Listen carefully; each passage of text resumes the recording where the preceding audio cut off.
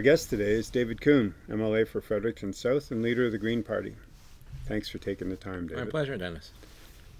Lots of issues on the agenda in the newly formed legislature. We're recording this in January of 2019, so you've had two, three months of some sort of settling of who's where doing what? Well, not so much settling. There's really only been, we've only sat four days in the legislature since um, Blaine Higgs won the confidence of the House. So uh, up until then, it was quite unsettled. And uh, of course, as a result, we didn't get much work done. The public service didn't get much work done as a government. And uh, there was a lot of writing speeches about other people's speeches uh, and replying to the throne speeches and so on. And and so um, so yeah, when you think about it, really, we only had four days of regular work because uh, you couldn't do really any regular work until um, someone had gained the confidence of the House to lead a minority government. 2019 will be an interesting year for New Brunswick politically. Um, walking into it for the first time with uh, four parties in the legislature, which will invite a different process as well as invite um, maybe a whole different conversation on some key issues. Do you have any early thoughts on that four-way conversation? It's like I said, it's it's early to, to, to say because we've only had four days of experience. Yep. Um, really, even though we were in the House much longer than that, um, that was all about the, who was going to form the government. And of course, in that atmosphere, it was very competitive, not cooperative, because you know we had the Liberals vying to get the confidence of the House, the Conservatives wanting to get the confidence of the House, and so, so that created a very um, um, uh, sort of intense situation. Uh, once that was settled, so we only sat for four days. So in 2019, uh, this year, I'm quite interested to see how it shakes out. Um, we've, and, and, it's complicated further by the fact that the Liberals um, uh, currently effectively don't have a leader. I mean, Brian Gallant's is technically the leader, but mm. but really uh, he's stepping down, and uh, they'll have an interim leader. Um, but uh, until an interim leader is appointed, there's there's not much going on there, and uh, so that's and then we're not sitting until March the 19th again. Uh, so that's actually quite frustrating that the premier decided to keep the house closed down until then. There is committee work starting next week uh, for sure, which is good. But um, but anyway, we won't be back in session until uh, March 19th. You spent your first four years alone in the legislature. This time you have some teammates, so to speak. Um, any sense what that's like, whether it's in the ledge or just the fact that you're not alone anymore in there and organization building? Um, yeah, it's very different, and it, it actually took a, took a little while to kind of uh, recognize that you know I there were I could share share things out uh, with the others that I was having to do by myself in the past. So you know each of us have a number of different critic roles now. So I, I, did everything before, so now we've divided it up three ways, which is great. And uh, we divided up committee responsibilities, and you know we take turns uh, at question period. We don't have to worry about getting motions. Uh, I don't have to worry about getting motions seconded anymore. Uh, so it's been very good, and, and just the, the, the, the sense of being able to uh, toss ideas around among uh, a small caucus of MLAs is uh, great. Um, so that's it's a very uh, different kind of um, landscape for me. Yeah, it must feel good. I assume it feels good. It does, yeah. yeah. On the political party building side, um, this has made, been also a shift for the organization as well. Have you sensed uh, growing membership or uh, uh, kind of like more firm footing. Okay, we're here now, like we're established yeah. now. Yeah, well, when you look at the evolution of the Greens in New Brunswick, uh, you know, back in uh, prior to the 20, 2014 election, it was well, you know, the Greens aren't going to be able to actually elect anybody, and so I got elected. But then, and then then it was well, you know, there was a far-away race, and he came up through the middle, and likely, you know, he's not going to get elected a second time. And the sense that because I was the only MLA, that it was a Fredericton-based party, and so on. Um, so with this election in 2018, uh, uh, convincingly re-elected uh, in Fredericton with MLAs in uh, two very different ridings, Kent North, uh, Young Acadian, uh, and Dad, new dad in Kevin Arsenault, and and then Megan Mitton and uh, Memramcook Tantramar, also a young mom. Uh, so it's a great combination.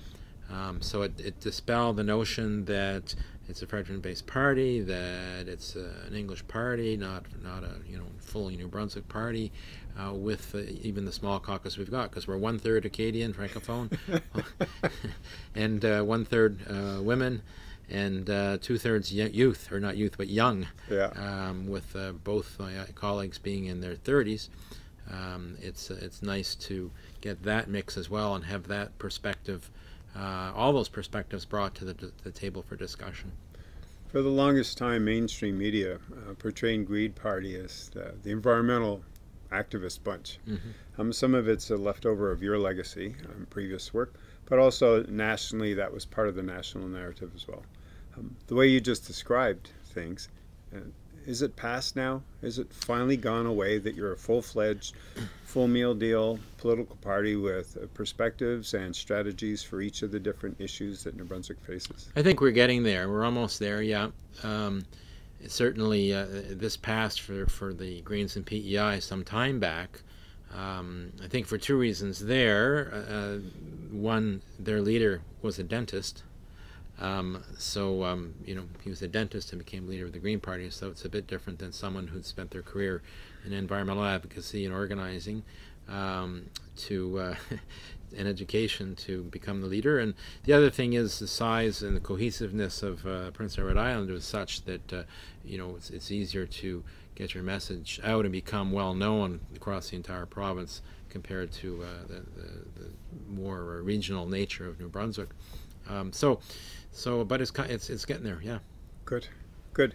Um, because that will only help the four-way conversation be more fleshed out rather than um, getting past the Green Party being dismissed as, "Oh, this is their main concern. They don't pay attention to these other things." Yeah, and I think what what what the legacy of that though will be that's important is well, the Green Party is the only party that actually takes the environment profoundly seriously, um, and has good ideas about how to to address environmental. Uh, uh, concerns. Um, so that's where we need to get to on the environment, uh, rather than uh, that stereotype of that's all they care about. Yeah.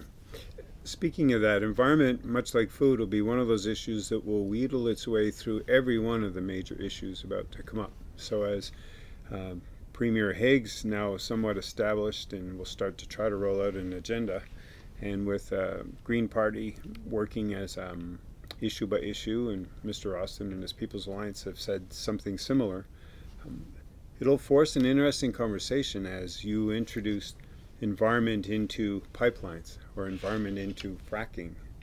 Do you want to play in that space a bit? Because it's going to get intense soon enough about fracking or pipelines and agendas and what's good for the economy and trying to lace into that what's good for the environment is good for the economy. So I guess a couple of things there. One, first of all, I think Premier is operating um, in a way a bit differently than maybe he imagined because he seems to be feeling very comfortable with the support of the People's Alliance members. Um, so the first time that they vote differently, or enough of them vote differently, that um, that he loses a, a, vote on a bill or, or whatever, then uh, I think that will help change the dynamic a little bit. Because um, I saw a shift at the very beginning after the election. He very much was uh, focused on, you know, the minority government as a gift from New Brunswickers and for New Brunswick to do things differently. That's what people want us to do.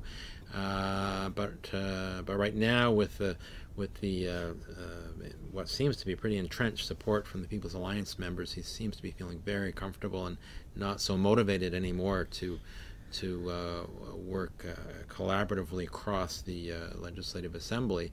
Um, so that's an interesting uh, dynamic that's going on there.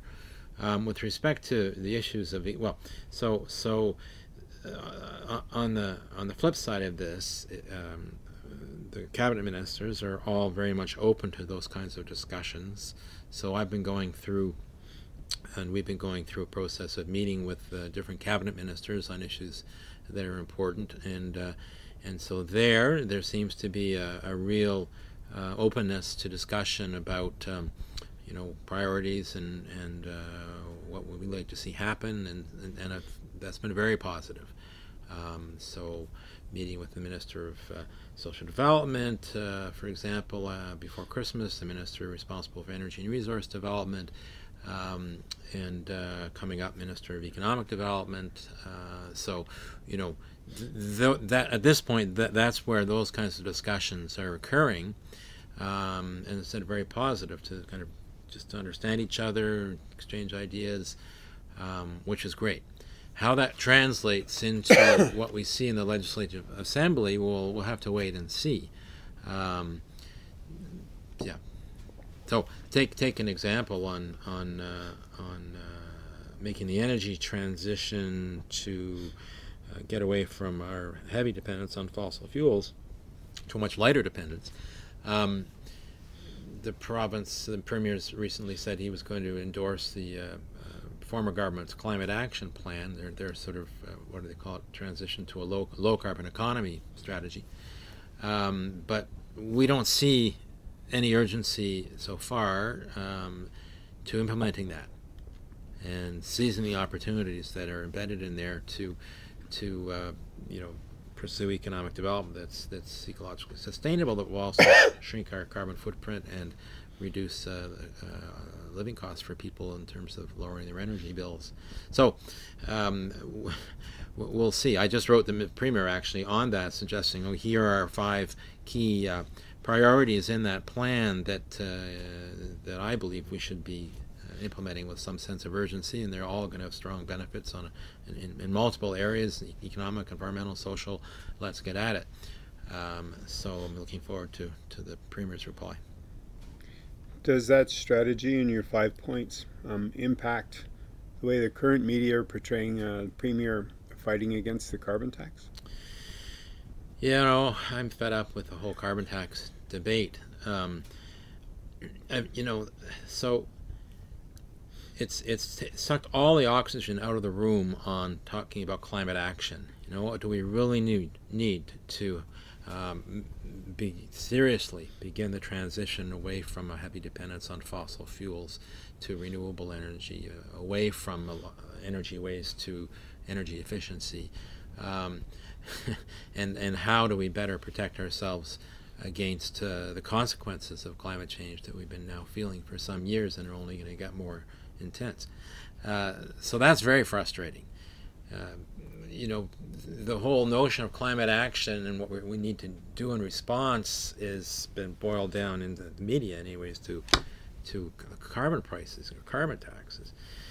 And uh, you know, I've never been particularly fussy in terms of seeing this as a be all and end all of anything. Uh, it seemed to me that it was a, the, the, the main impact or, or potential around a, a, price on carbon was how you use the revenue. If you invest the revenue in actually um, using that to help people reduce their use of energy and, and, and switch over to more renewable sources of energy, heat, power, and fuel, that um, that's going to uh, have an impact. But the price itself, not so much.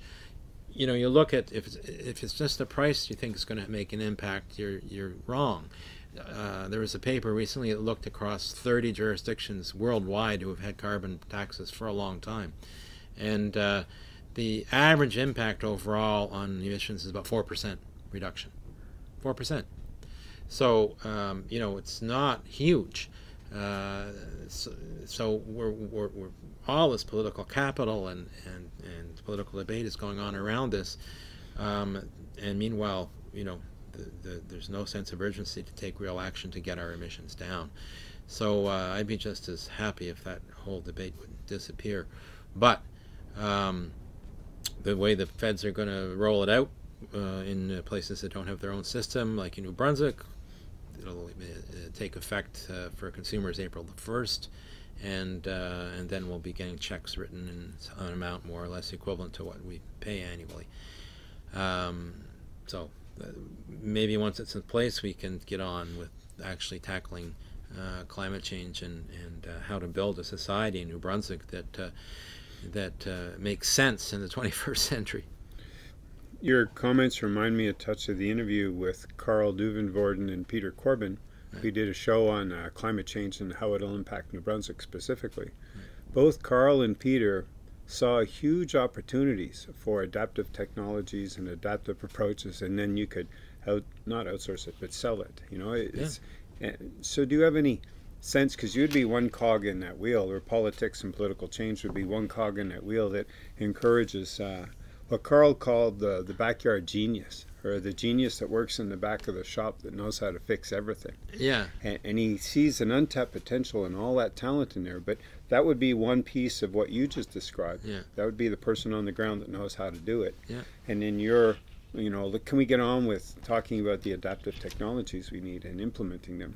Yeah, well, you go look around New Brunswick, you look at the builders who, who are building uh, uh, extremely energy efficient homes that are significantly heated with passive solar heat, and, and uh, companies like uh, uh, uh, Next Gen Renewable Energy that's built a first solar farm in the province and is, is so dedicated to driving a, a supply chain for solar power that is you know rooted in New Brunswick mm-hmm. um, to to to the uh, uh, Jacques uh, and and Rock. Um, just lost the last name for a minute, but up in the Grand Falls area, who who who developed and are operating a, a biogas electrical power generator based on their manure from their dairy farm and, and food waste from McCain's. So they're selling electricity to NB Power. Um, Laforge, uh, is their last name. Uh, yes, all over the province you see this uh, whether it's uh, uh, architect, architects, engineers, builders, tradespeople, farmers, woodlot owners, people who who are great at inventing things and developing things and, and, and conceiving of new ways of doing things. Um, that's what we need to be fostering more of, and that's you know that's an opportunity that I feel that, that we, we, we keep we keep wasting.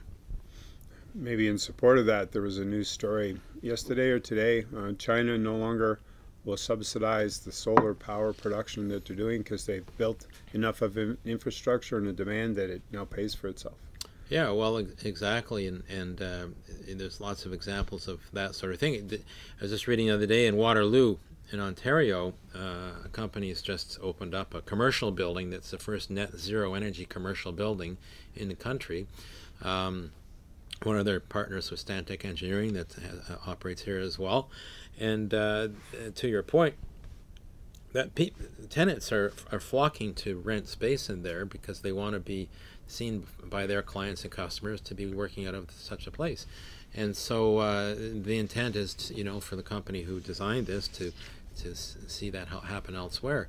It's exactly that kind of thing we we should be doing here, and uh, and uh, we just need we need to. I mean, government from an economic development perspective needs to see that opportunity, but I'm afraid. Uh, so far, this government, like past governments, have been stuck in the in the old sort of paradigm of you know large scale projects equals economic development, and that's what the, pretty well their overall focus is on. So in, in the case of well both Mr. Higgs and Mr. Gallant, the pipeline um, they had in common is an example of, of that, and the and the, uh, not just the pipeline, but the you know the export terminal, which would ship the bitumen and so on overseas. But but so so uh, the kinds of economic development opportunities that really drive local economies from cities to towns to villages to rural communities. Hmm. Um, it, it's it's uh, it's like eating lot. It's like sort of um, uh, well, it's not a good good metaphor, but but anyway, I don't know why I was thinking about eating lobster, but anyway. Uh,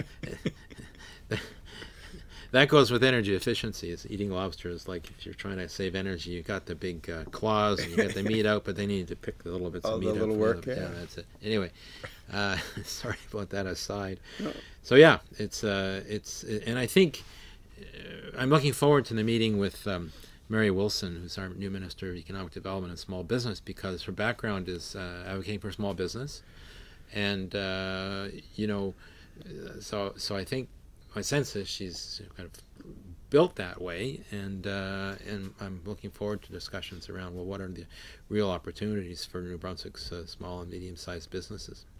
Several past interviews, sometimes with economists, sometimes with business people. Um, the way you speak also likens itself towards the issue of scale. So, what is the best solution for New Brunswick's economy to finally take a step forward? Because we've been approaching it the same way the past 30 or 40 years. It tends to be the industrial or large scale model. Yeah. Um, more and more, it looks like what should emerge for New Brunswick's particular case is a local, regional scale that can satisfy itself to a certain degree within a certain limited market because of our population size, but also create export potential because of knowledge on technology innovation or creating a certain product that would then go down to the eastern seaboard. Yeah. But that's going to be a culture shift. Not unlike um, healthcare needs a culture shift in that I have healthcare services if I have a hospital in my community. But the interview with John McGarry when he was CEO of Horizon Health talked about regional healthcare delivery mm. and centralization and new hospitals that have new equipment so then you can recruit doctors. And yes, you might have to drive the hour and a half to get what you need. But the old culture from the 60s, I have a good community when I have a hospital in my community. Can you play in that tension between maybe economics for New Brunswick breaks down to like the 100 mile diet mindset? Yeah. but also for innovation, but also for permaculture. And then we can get over a hump economically that we so far haven't been able to with the old model. Certainly, and, and this is consistent with with the sort of the, the movement uh, that, that, existed in the Maritimes prior to sort of globalization uh, taking off, um, which was exactly that. You know, with all of the, the angst that we went through years ago around underdevelopment in the Maritimes, and there's lots of great people thinking about how do we how do we develop differently here that's going to make a fundamental difference. Um, and it's exactly that notion of becoming more locally and regionally self-reliant um, uh, that generally seemed to emerge as the consensus, uh, which got lost as uh, globalization took off. And uh, we're coming back around to it now which is which is which is great, and uh, and certainly there's there's good evidence uh, both in our own history um, about the impacts of, of a more uh, self-reliant local and regional economy and society, um, uh, and, and certainly from other places as well more recently. Um, but it does take some examples, I think, right? So on the healthcare side, for example, you, if people as people become more aware, for example, of the what how the downtown community health center functions, uh, it's quite revolutionary in the sense that they are approaching people's uh, their uh, patients uh, in terms of their physical health, yes, but also their social health. It's integrated, social health and, and, and physical health. So, you know, one of the physicians uh, at the downtown community health center you know, uh, asked me if I could help facilitate a meeting with the Minister of Social Development, you know, to talk about issues on the social development side because of the social determinants of health. Uh, so that's very exciting. So that does represent a, a cultural change in in uh, healthcare, and I know that uh, uh Ms. McGrath, the head of um, Horizon, is very keen on trying to roll that approach out to primary health care around the province to increase the number of uh, community health uh, centers with this integrated, more holistic uh, approach um, based on a team um, delivering primary health care in communities. So that's quite exciting. On the on the economic side, I think you know if we if we could have a, a, a clear and visible win on that um, with with something. So if we said, all right, we are going to um, uh, the first step we're going to make is on, on local food and uh, and put in place the, the, policies and measures to do that and use government procurement to kind of um, jumpstart the, the market um, so that uh, uh, we set, it, set some targets using hospitals, um, nursing homes, provincial jails, and schools uh, as the market for local food to drive that, and uh, and then we'd be able to demonstrate in a four-year period, pretty much, uh, some really positive consequences of that. Um, and you can see it on a, in a microcosm in, a, in, in, in, some local places, like in the Miramichi, um, where where uh, Carrefour uh, Beausoleil, uh, the Francophone Community Center and School, which is a, a, really nice mix there. So it's a community center wrapped around a school, run by a nonprofit mm-hmm. um, that picks up all these nice kind of um, uh, what's the word? Uh, not overlaps, but uh, supportive, kind of mutually supportive activities. So there, for example, we're providing local food to the uh, children uh, in the in the cafeteria uh, at no more cost than uh, imported and more industrial produced food. Um, how are they doing that? Because they are also um, selling food in the community that they're producing in their kitchen, like lasagna, uh, that's made from uh, almost all New Brunswick uh, food. Um, and so the revenue they're gaining from those sales in the community, and see the kitchen for the schools being run by the nonprofit community center. Yep.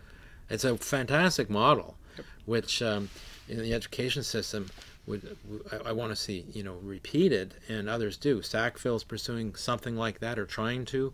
Um, I've met with some parents uh, in Fredericton uh, over the uh, Liverpool school that at some point is going to be rebuilt or new new build yep. um, to consolidate Forest Hill and Liverpool. And uh, the idea of first let's let's get this nonprofit up and running because it's going to take some time to get to, to on the priority list where the new school is going to get built. Uh, so that that's all ready to go, and so you can you can demonstrate from some living examples uh, how beneficial it is to the students, how beneficial it is to the community, um, and and overall creates this momentum um, as as we're seeing in the Miramichi in the food example. Based on what? Based on a uh, uh, initially a goal to supply local food to the kids in that school, and it got much bigger when they said, "Well, how are we going to afford to do this?" And they came up with this system.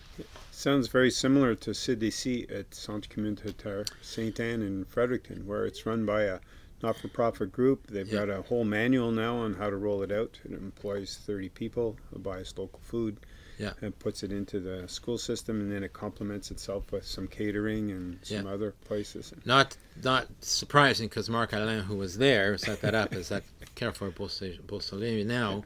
Uh, the difference, though, is that uh, in Miramichi, it's a nonprofit community organization that runs the sort of community part wrapped around the school, mm-hmm. um, which is a little more manageable in, in, trying to for, for, for parents and community members to get their arms around because here at uh, uh, Centre Communautaire Sainte Anne it's a crown corporation mm-hmm. and so it was like oh how do we replicate that yes that's just like no but it's not going to happen but you know a, com- a, community group that creates a nonprofit yeah. to be wrapped around a school and you fantastic but but this also indicates where change happens. It tends to be at a smaller scale and a local level, and have a lot of interconnectedness of parts that are kind of waiting for the right precipitating moment or the right thing to come along that gets them together. So the essential thing for politicians on this, because they always go for the you know the big things they can cut ribbons on and all this stuff, is to make uh, these kinds of uh, initiatives that represent real change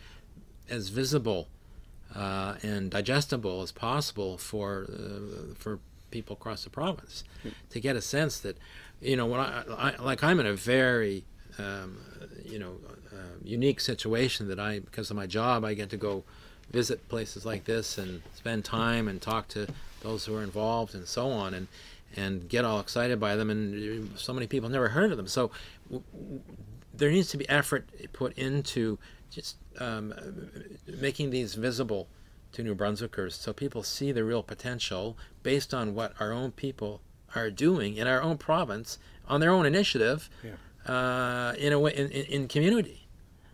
So it's very exciting, yep. right? But if you don't see that and aren't aware of it, it's so easy to fall into that trap that you know, well, and, and nothing's, also, gonna, nothing's going to change. And it also gets into again at the political level is like how do you get that excitement you just expressed through a political system, um, through a legislature, so that it does become policy. Compared to well, this is the way we've always done it, and this is the model we think we're going to try.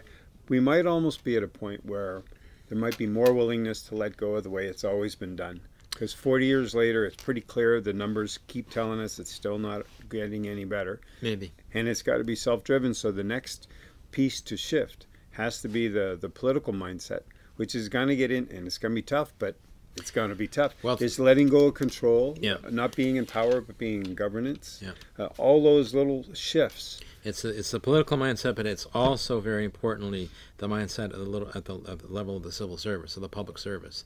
Both of those things um, have to shift, and uh, and that's that's critical um, to to start to look at because it means giving up control. It becomes a bit um, uh, unnerving uh, for for folks, right? Because I mean, in government, because they, they can't control what's going on, and, and if you're if you move into a, a sort of paradigm where you're uh, there to help empower and, and support, um, right, rather than designing and implementing, um, it's very different. Maybe to support, and then please carry on. Interview with Blaine Higgs a year ago, before the election. I was talking about the need for systemic change in the civil service. Mm.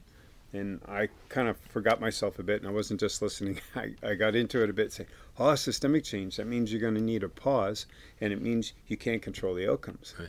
And and Blaine went, no, no, we got Yeah, have predictable outcomes. And his hand starts doing this. Yeah. And I, I did, I chuckled and went, oh, I forgot I was talking to you. Yeah. You know? Well, that's the thing. You can't control the outcomes. Yes, Um, but but you can have guiding principles, you or you can have targets. But it's very Yeah. different from the civil service point of view. About they're measured or they're accountable based on those outcomes. Right. But of course, but but to better to better meet local needs, the outcomes are going to be different in different local areas. That's the key thing. Yep. So yes, you have principles, you have all of that.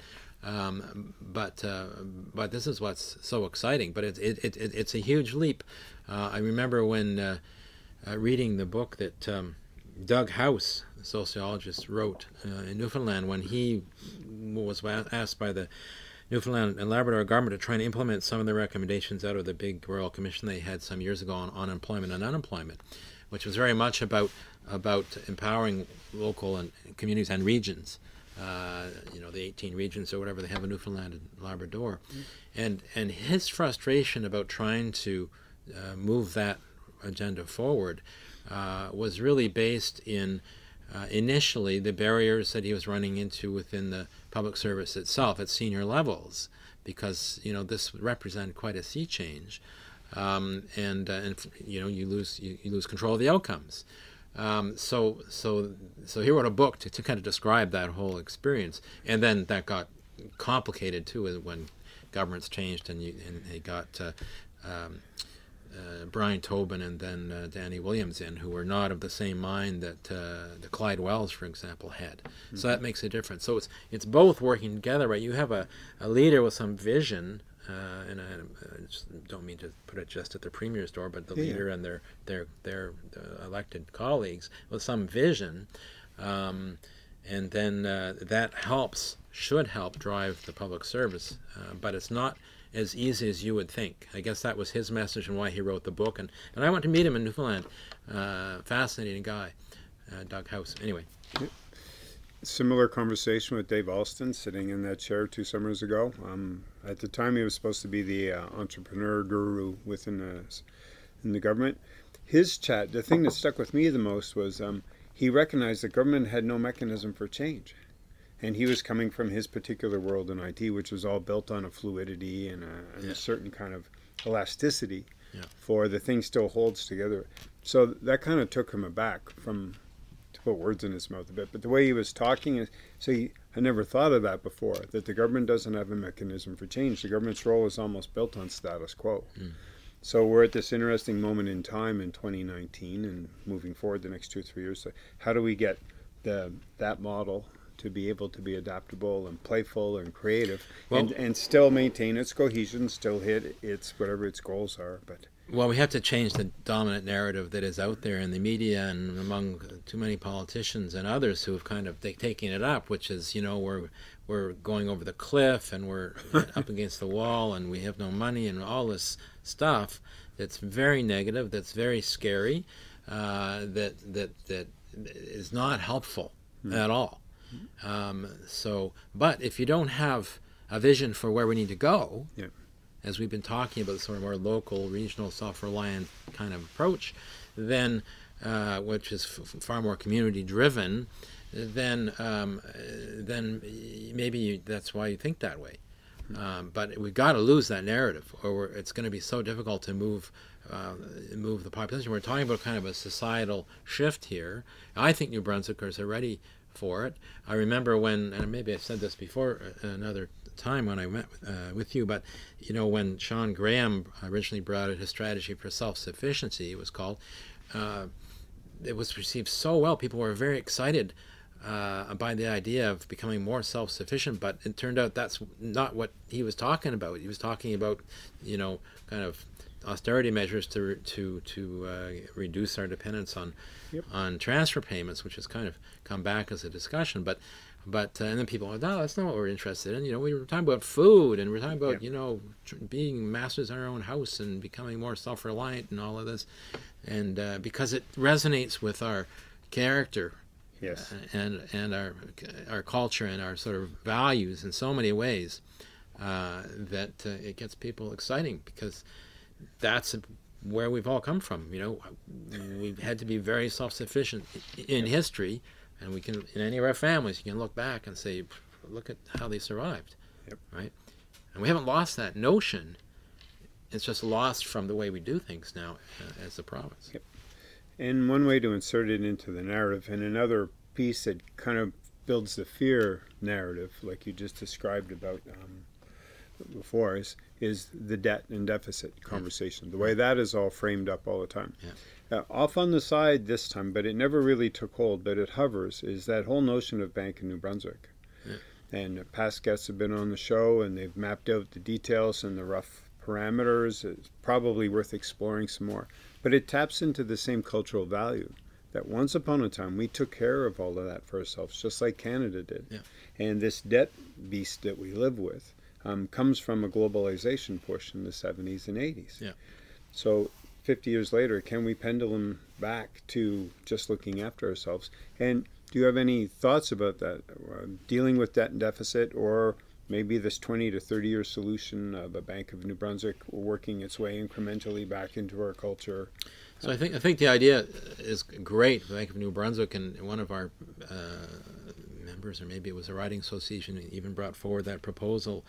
Um, I think I think that the scale at which it needs to be looked at is probably maritime wide, and um, there are a number of things like that. I think that in terms of uh, thinking regional, regionally in terms of greater self-reliance, that that makes sense at, a, at that scale. Mm. Um, so a bank, you know, Bank of the Maritimes or whatever it would be, and uh, that that would be quite exciting to pursue. Um, and I, I'm quite inspired by the potential for greater meaningful cooperation among the maritime provinces um, by the what the Norwegian countries have done over the years. So they have a they have interparliamentary cooperation through something called the Nordic Council. So there are five countries, um, and they have parliamentarians from each of their countries who meet together uh, twice a year, once an, an, annual thing, and then once on a theme-based uh, issue, um, to tackle issues that uh, are, are, best dealt with at a at a Nordic level, and um, and then it's sort of passed on to uh, to kind of um, officials at the ministerial and the staff level, and they they kind of have a, a working group under that. So it's pretty pretty interesting what they've been able to achieve with that kind of cooperation. So perhaps we should have something like that in the Maritimes. And people talk about in the past, you know, maybe there should be maritime union and there's, there's all kinds of problems with that. You know, we know Louis Robichaud had a royal commission that looked at it, and uh, and so on. But but uh, the idea of some kind of an interparliamentary interparliamentary cooperation. In the past, we've had had uh, the cabinets meet occasionally, but that's not really it. If we had interparliamentary cooperation, um, uh, that then was able, would, would be able to handle hand off certain initiatives to uh, kind of a maritime-wide uh, officials level, then uh, we could do some important things like a maritime bank or like a maritime-wide transportation, public transportation system uh, to help slay that dragon. You know, It's one thing trying to improve transit in, transit in our cities, but to get a comprehensive system that works in the Maritimes or in, in, in any one of the individual provinces, if we maybe approached it on a regional basis, we might get there. Um, so, and then the same could be said in a way for tackling uh, the energy transition. Um, and maybe that there's a level of cooperation there that we should be looking at to help make that happen. Uh, but we don't have the institution. Uh, it, one of the things that came out of, of the last big discussion around maritime uh, union, I guess, in the in, that wasn't the last, but the pre, in the 50s, anyways, was was uh, was the um, what's now called the Council of Atlantic Premiers, and uh, it's it's really been hollowed out. Hmm. Um, it doesn't have much of a secretariat anymore. It doesn't have much of a work plan anymore. It just it's just because of disinterest on the part of I guess the premiers, number of premiers over time in the last little while. It's kind of they have their annual meetings and or biannual, whatever they are, and, and not much seems to be going on. So the the the um, the, the notions that came out of uh, uh, the 50s originally, this was under Hugh John Fleming. um, pretty interesting recommendations they, they made at the time. Uh, you know, just haven't haven't really developed into what was envisioned back then in terms of maritime cooperation. Um, so I think I think this Nordic Council concept maybe is a bit of a way to get at it again. It might evolve too, like you talked about local change um, being a place where it starts. Maybe there's something specific, uh, specific area that shows where success can be had if we all cooperated on it. Yeah. Thoughts in that spirit then um, other conversations that have happened around this table have to deal with recycling and the issue of scale and the chance for economic development would that be a, a, maritime one that would get to a certain scale? I'm thinking of um, CEO of Recycle New Brunswick um, when he was here talking about uh, great job opportunity or job creation opportunity outside Sussex or somewhere between in between the three cities, and a lot of the material that's um, of value and could be processed could be done there in a large center. Right. Could employ two or three hundred people. Then you can get to port, or you can get um, to rail and ship it. it. Or, or especially if we looked at it on the scale of the Maritimes, what are the econ economic opportunities for utilizing waste streams, right, rather than just collecting them and sending them away somewhere, yes. or dumping them in the river? Um, so, so that's one of the things actually the Nordic Council has done quite a lot of work on and uh, there's no reason we couldn't do that here. And see, with the with the scale, maritime wide scale, then you would be generating volumes um, that uh, you know um, would make the development of those kind of economic opportunities uh, perhaps more viable to uh, to deal with, because you know you need a certain amount of uh, raw material to to do mm-hmm. manufacturing, whatever it is. Mm-hmm. So uh, so there's an interesting possibility, and, and, and we would have a more a greater diversity of waste streams as well across the, the entire region than than we do just here. So think of uh, even just producing biogas. So you know, um, if we wanted to see more biogas production from waste streams, which is what uh, which is what uh, uh, the, the, Forge brothers, uh, well, father and son, are doing. Um, they're using the waste from food processing and from uh, dairy production. Mm-hmm. Uh, if you look at it across New Brunswick, you looked at across the Maritimes, so okay, what are the sources? And part of their revenue uh, there is not just from the electricity they're selling from the biogas they're producing to to NB Power, but the revenue they're receiving from McCain's and others who are shipping their what they were having to pay to get rid of to use feed, as feedstock for generating power. So uh, scaling scaling that um, not up in terms of the magnitude of what they're doing, but but distributing it around uh, the province and the region, taking advantage of the waste streams that are there. We've got seafood, we've got other food processing, we've got uh, wood production waste, uh, wood product production waste, and so on. So uh, all kinds of. But if you, you have to look at it in that kind of comprehensive way, which is what the Nordic Council has done, and uh, it's it's it's it's generated a lot of uh, new business activity while capturing the um, those waste streams and reusing or recycling them. Um, and they're very the Nordic Council is so clear uh, about the agenda, which is to drive the green transition in the Nordic countries, and, and this is part of it. So it's it's a, it's a wonderful example. And you've been talking in an indirect way, but it's another cultural perception shift on the narrative on the economy. Now you're talking specifically about a circular economy.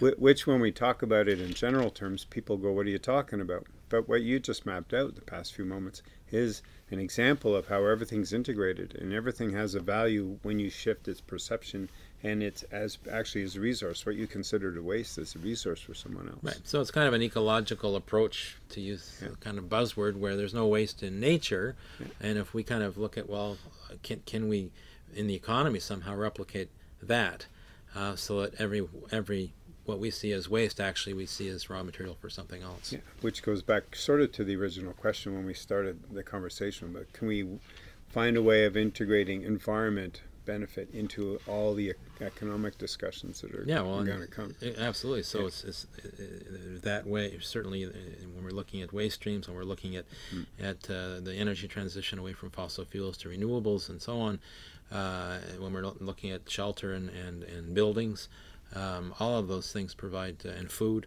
Uh, and in fact, when we look at other reasons, we look at forest management, wood products, um, all kinds of possibilities but you, you need to have that kind of lens.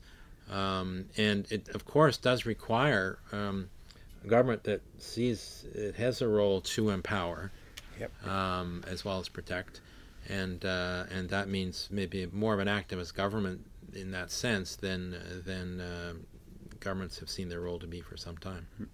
We have about 10 minutes left, and I'd like to spend five, if you're willing, um, on a specific issue which is the development of natural gas issue that will run through 2019, one way or the other.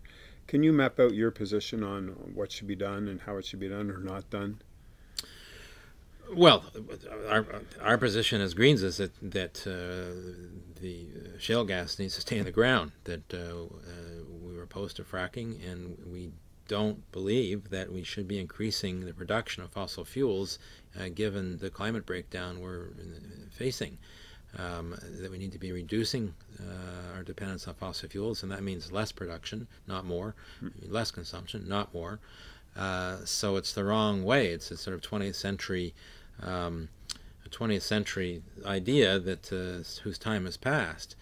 Uh, so uh, it's no more complicated than that. Uh, in any event, there's nothing that's going to happen very rapidly um, because even if the uh, moratorium is lifted as uh, in the in the Elgin area, Albert County and Sussex area, um, by the provincial government, new government, then um, the company's Corridor Resources is saying, well, you know, uh, we don't have, we haven't got the money to invest in this yet. We've got to find an investor, and there's regulatory issues and so on and so forth.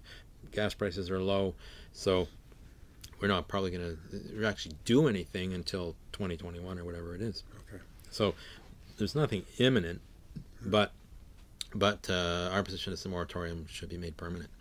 What I was curious to explore is currently uh, in national lens, Alberta is going through a tough time because of fighting for pipelines, and oil is a boom and bust industry, at least as described in the media. We've been talking for about 45 minutes on circular economy, and, and that is definitely not boom and bust. Mm. That is something that's long term and stable and, and within your own means to control your own house or influence your own house. So, there's often been a wonder why would a province or some in the province want to hook themselves to an industry that's already proven itself to have huge fluctuations in a 20 or 30 year cycle compared yeah. to all this new technologies opening up a whole other way of doing things. It's just simplistic thinking on the part of politicians on one hand, which is what what can make a lot of money, um, and where else has it happened? Well, uh, look, Alberta, what's happened there? I mean, lots of money, yeah. um, and uh, uh, and then you know the lobby lobbyists are at work, of course, too, to serve their self-interests uh, as well. Um, but it's not much more complicated than that. A mm, couple minutes left. How would you like to end off? I mean, the show will last on the internet for a year or so, or forever, and, and, you'll look ah. you'll look younger one day. well, thanks, Dennis. I think that would require hair. Yeah, to make that happen. Maybe one day I'll do a collage of when you were first on the show to when you're on the show. now, um, but but we all we're all aging the moment we're born. Oh yeah, I go. Yes, I can relate. Um, what's the pleasure of doing the show and the openness of the conversations is stuff will resonate from what you said today. It'll resonate in the summertime. It'll resonate definitely next fall. So there's a window here for uh, something that, you know, I think this is going to happen, or it would be so nice if this happened. We will work hard to make that happen. Do You have something to play with in that space that, um, and and gives people confidence because on the outside, on back to the political sphere, the citizens have not seen a four-way conversation before. Yeah, yeah. Media keep wanting to frame it almost back in the old dialogue of us and them yeah. or in power, not in power. And, and it's truly not that way anymore. And I had some fun with some commentaries playing with the, on the energy or emotional level that 300,000 people were fed up. Either they voted for change or they didn't vote because they wanted change, mm-hmm. which is a stretch. But on an emotional level, that's kind of where they're at mm-hmm. with politics. And then it happened. Mm-hmm. There's four different colors in that legislature. Right. Now, if we can just integrate First Nations into there a bit more, um, we're in a really exciting moment in time. But the test is going to come when you start doing the work in the legislature. Yeah. So my my hope absolutely is that that we actually are able to to get to this point where we trust each other enough and find the common ground uh, that where we can collaborate effectively and uh, and address things people are really concerned about. That's people want to see us work together to do that, and we need to find a way to work together to do that. Which is why my response to the throne speech from uh, Premier Higgs uh, was uh, that based on the success of minority governments in Canadian history, like the famous one of Pearson, uh, the the secret seemed to be uh, not putting water in your wine and, and making great political compromise, but finding the common ground of, on which you all can stand, work together, and achieve great things. And that's what they did with the other parties in, in Parliament at the time. Brought in Medicare across the country, brought in the Canadian Pension Plan, launched the Royal Commission on uh, the Status of Women, the Royal Commission on Biculturalism, Bilingualism, with, with great impact later later on. Uh, and that was common ground among the parties. Uh, all of those were, and uh, and also nicely reflected the kind of pent up demand or meeting the needs, uh, resonating with, with, with Canadians of the day in terms of what needed to be done, and so that all came together quite well. Um, that's where we need to go with this this minority government. Find the common ground, and, and I, it's quite large when the way I outlined it in my speech, um, and concentrate on working on that common ground and and uh, and not um, not trying to uh, uh, operate uh, in areas that are not. Uh, the, the, the big diff- the one exception of uh, with the Pearson government years ago federally was the flag, hmm. and he, and it was a huge controversy because that was something they launched that they were committed to. There was no you know much interest from others, and and Canadians were kind of really divided on it. Um, I still remember my grandfather was so angry uh, about that because you know he'd fought in the first war and fought under the Union Jack, and that was good enough for him, and he put it on over the door there in the camp, and that's it. Uh, but uh, but anyway, uh, I digress. But that was an example of you know where they they said no, this is what we're going to do, and they, and they did it. But there you go. Great way for us to end. Okay. Thank you. Nice speaking with you. Thank you for watching. As always, be good, have fun, love each other. We're done. Thank you. Yeah. That was great. great.